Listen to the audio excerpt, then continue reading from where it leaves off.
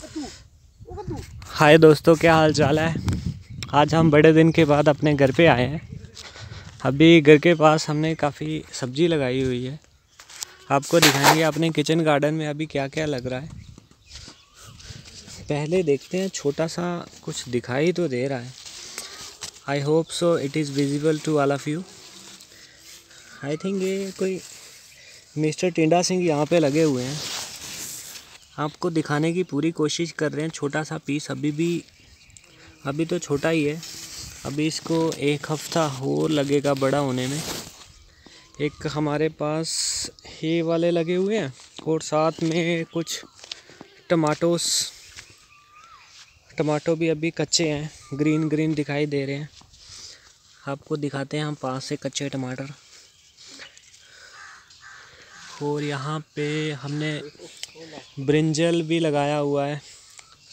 Brinjal अभी सिर्फ़, देखो उसके साथ ना सिर्फ़ फ्लावर्स आए हैं। ब्रिंजल के साथ सिर्फ़ फ्लावर्स हैं। अभी देखो थोड़े से पर्पल कलर के आपको फ्लावर्स दिख रहे होंगे। I think it's not visible at all थोड़ा लाइट का इशू है। देखो पर्पल कलर के फ्लावर्स यहाँ पे आपको दिख रहे होंगे। और साथ में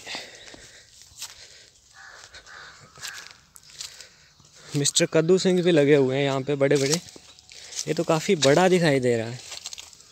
हो सो, काफ़ी बड़ा है। कम से कम इसको मेज़र करके ऐसे लग रहा है एक किलो तक होगा ये। और साथ में कुछ छोटे छोटे भी लगे हुए हैं। इसमें छोटा सा लगता है यहाँ पे इन्होंने दवाई नहीं डाली, उसके कारण छोटे छोटा इनको इंसेक्ट का अटैक होने स्टार्ट हो इनको स्प्रे करना पड़ेगा, नहीं तो सारे ख़राब हो जाएँगे। बाकी और क्या देखते हैं? ओहो, आपको बताते हैं कि यहाँ पे ना एक छोटे से ऑरेंज कलर के छोटे छोटे इंसेक्ट यहाँ पे आपको दिखाई देंगे, जो हमारे पौधों को काफ़ी नुकसान देते हैं। हम आपको पास से दिखाई देते हैं, आपको भी पता चले कौन सा इंसेक्ट है। ये आपको सामने दिख रहा होगा। ये काफ़ी उड़ते रहते हैं। ये फ्लाइंग इंसेक्ट है। ये देखो लीव्स के ऊपर बैठे हुए हैं। ये हमारे, जो भी हम किचन गार्डन में काफ़ी नुकसान करते हैं। और देखो, जैसे हमने टमाटो लगाए हुए हैं, यहाँ पे भी कुछ इंसेक्ट्स ऊपर घूम रहे हैं। यहाँ पे इनको जल्दी स्प्रे करना होगा। और इसी के साथ हम, जब विंटर आती है तो यहाँ पे ना थोड़ा सा फाग होता है। उसके कारण हमारा किचन गार्डन ख़राब होने का डर होता है।